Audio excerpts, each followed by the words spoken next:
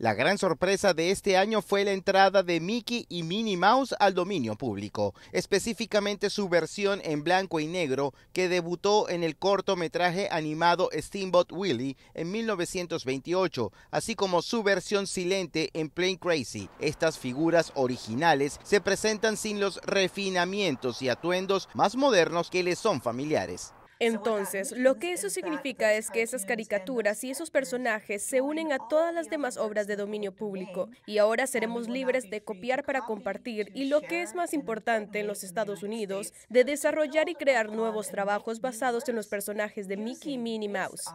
No es la primera vez que esto ocurre, pues figuras como Drácula, Frankenstein, Romeo y Julieta también han sido liberadas en su creación original en opinión de expertos consultados por Voz de América, podría ser una gran oportunidad para los creativos a que se beneficien más que despertar ansiedad, diría despertar la curiosidad y el uso de cómo van a poder utilizar esa imagen a su favor. Recuerda que Mickey es un personaje bien conocido y si lo lograsen utilizar a su favor, pues les va a generar no tan solo view, likes o aceptación del mercado, aceptación de que ya cuenta Mickey y ya cuenta Disney. Podría surgir un problema de marca registrada si se utiliza el personaje Mickey de 1928 de una manera que induce a error a los consumidores, haciéndoles pensar que están adquiriendo un producto de Disney cuando no es así. Mickey Mouse es un personaje que no se hace viejo, que no tiene hijos, que está siempre fresco, que está siempre con la misma ropa y no se ensucia